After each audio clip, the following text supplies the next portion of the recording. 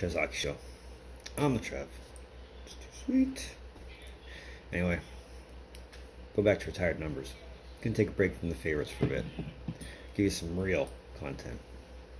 And I'm still working on some of the bigger ones, but at the same time, I'm getting as much of the smaller, easier ones still out of the way that I can. And this one's fairly easy. I could make this in a matter of minutes and call it an episode. And that's exactly what I'm doing. Today, we're talking about the number seven hanging up in Washington. Yvon Labre. Let's talk about it. So Labre's career with the Washington Capitals began June 12, 1974. That was the day the NHL had their expansion draft for the Capitals and the Kansas City Scouts, who we will talk about at some point. Now, in this, he was their fourth selection coming over from the Pittsburgh Penguins. And, I mean, when you already have a team where you're selecting Ron Low, Labre himself, those really the two names that stand out the most. Everybody else is basically fodder, I guess. It's not to say that in a disrespectful way. It's just early expansion drafts weren't nearly as good as the ones you have now. And while Labre wasn't exactly a superstar by terms of the caliber, he is also noted for being the first player in Capitals history to score the home goal when he beat Rogie Vachon of the LA Kings.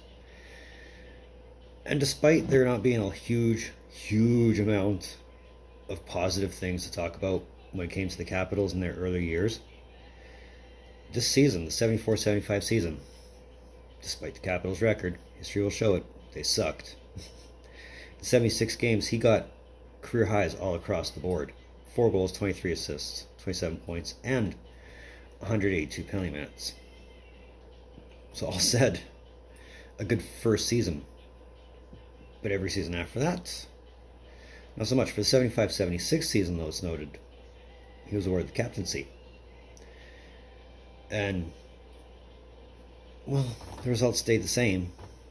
I mean, his point total went down from, from 27 to 22, 76 77 went to 14, 77 78 between time in Washington and Hershey, their AHL affiliate. That season, he only put up eight assists. But again, he was more focused on your penalty minutes, having got 146, 169, and 41 respectively in those three seasons. 78 79, though, captaincy went to Ryan Walter, and no alternates. And that didn't really seem to impact much. I mean, Labre was playing less and less and less. Like 78 79 season, he only played 51 games, but still managed 14 points. 80 was 18 games and only 5 points. So it's catching up. It's about that time. His 80 81 season, which was his final season, 25 games, put up 2 goals, 4 assists for 6 points, and 100 penalty minutes. And that was Labre's career. And like I said, he wasn't your superstar defenseman. All told, his totals in Washington, not counting his totals in Pittsburgh, because he did actually get some points in Pittsburgh 13 goals, 85 assists, and 97 points. 98 points, sorry. In seven seasons in Washington. But it's also noted his number wasn't so much retired because he was the fourth pick or because he scored the first home goal in franchise history. It's because he was still active with the organization after his retirement. He was the, he was at various times served as an assistant coach. He was a color commentator, a scout, and director for community relations. Plus, he was active in their community while he was playing after he was done playing. So based on that, the Caps did us did him a solid and retired his number on November 22nd, 1981, thus becoming the first Capital franchise history to have his number retired. Definitely not the last.